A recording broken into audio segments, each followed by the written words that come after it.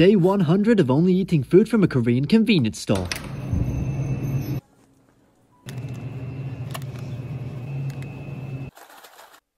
I'm gonna share with you this Jumbo Doshirak Ramyeon. It's probably the biggest ramyeon I've ever seen in my life. This ramyeon clocks in about 3,200 calories. It's supposed to serve 8 people. Sprinkle this all over. Add some nutritional value.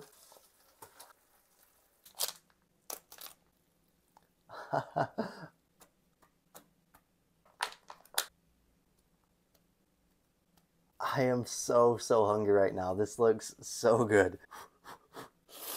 That first bite hits different. Pre-packaged soft boiled egg from the convenience store.